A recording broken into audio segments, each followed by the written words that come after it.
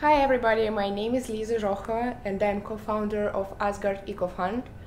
We are glad to announce the launch of the project that we have been preparing for a long time. It is a decentralized crypto-ecological fund, Asgard. In this video and in a series of videos, we will be explaining how the fund functions and what is it in general.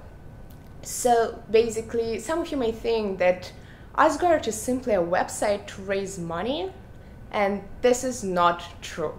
Asgard is a decentralized crypto ecological fund that provides funding for specific environmental tasks.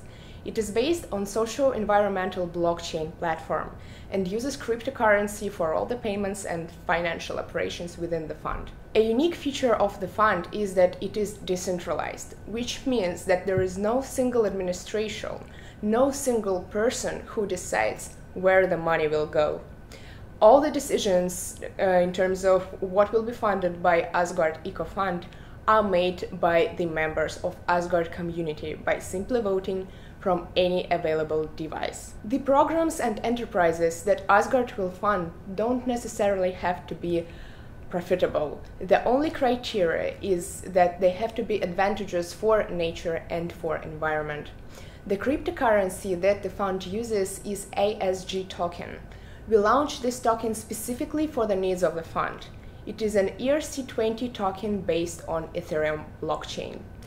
Uh, that's it for now. We will be telling you more in the following lessons. Please subscribe if you want to know more. We recommend you to visit our website asgardecofund.io to find out more about our project. There you can find all the necessary documentation including white paper and green paper. We recommend you to read white paper first to understand all the basics of what, what Asgard EcoFund is and how it works. Green paper is a financial regulation document which might also be interesting for you. Uh, please join Asgard community. Don't be passive observers of the death of our planet and buy ASG tokens to support the elimination of environmental damage. Thank you. Bye.